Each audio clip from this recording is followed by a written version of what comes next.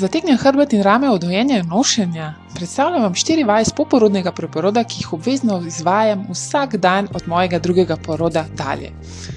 O, kako pa še masaža ledvenega dela v kombinaciji z razteznimi vajami. Neprecenljivo. Dojenje nedonošenke zahteva dojenje praktično 24 ur na dan in moj ledveni del kar trpi.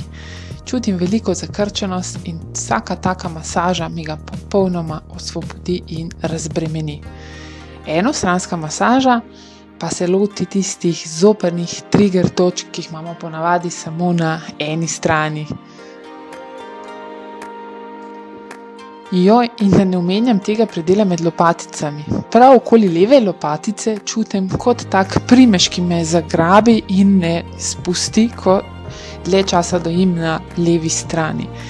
Ko se tako le z eno žogico učinkovito pomasiram vsa tkiva, mišice in fascije okoli lopatice, dobim zopet polno gibljivost ramenskega obroča in lažje tudi zadiham. Tako le se masiram kar v spalnici, Nika Luna zraven spi, jaz pa še malo pogledam uh, televizijo. Kako pa ti servisiraš svoje telo med porodniško? Kaj počneš? Zaupaj mi, napiši v komentar. O, in ta sprednji del pektoralis oziroma prsne mišice, kako so zakrčene.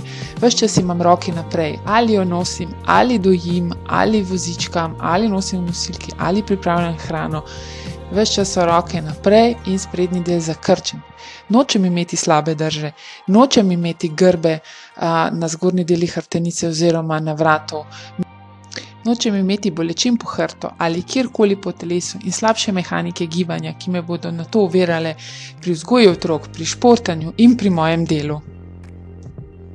Še dobro, da sem vse te vaje naštudirala in sestavila že po prvi porodniški, tako da jih zdaj le še izboljšujem in dodajam kakšne nove.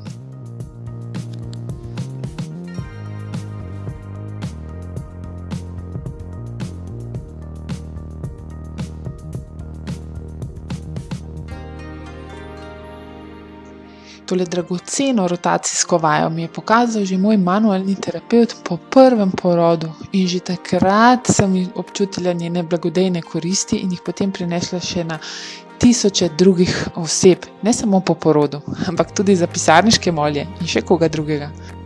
Kaj ne rečem, gibljivost hrbtenice je ključnega pomena. Iz nje namreč izhajajo vsi živci, ki izživčujejo vse naše organe in vsa naša tkiva. Ste že slišali, da smo stari toliko, kolikor je stara naša hrbtenica? Poskrbite, da bo ostala gibljiva, ne pa kot bambusova palica in po dolgotrajnih podojih in nošenju dojenčka se počutim ravno tako, kot bi postala ena sama velika bambusova palica. Komaj se premikam in komaj čakam, da naredim te vaje. Neverjetno, kako se bolje počutim po njih. Evo, in že je konec zabave za mamico. Že me kliče mala Nika Luna, ki je zopet lačna.